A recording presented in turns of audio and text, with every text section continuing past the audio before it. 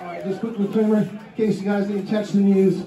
This is our fourth show in Canada, and I done them all with pneumonia. It's been a lot of fun. I've still got a good death rattle going. I'm gonna make the best of it tonight. Don't worry about that. We're gonna play a lot of weird shit.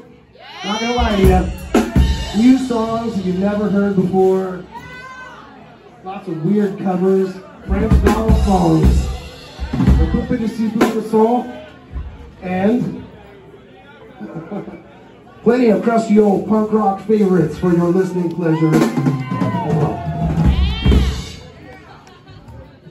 Like this one.